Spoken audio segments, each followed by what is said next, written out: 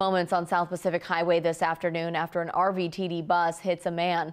NBC5's Mariah Mills was there as first responders tended to him. She's live in studio. Mariah.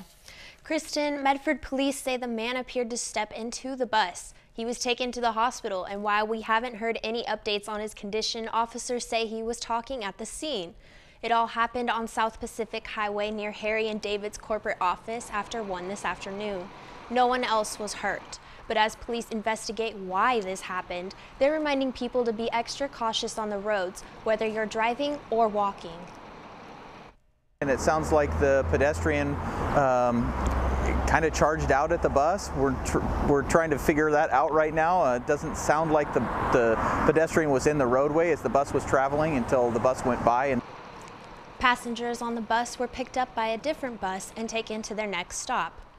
The investigation into the crash continues tonight. RVTD tells us they're also reviewing the surveillance footage and it's conducting its own investigation. Live in studio, Mariah Mills, NBC5 News.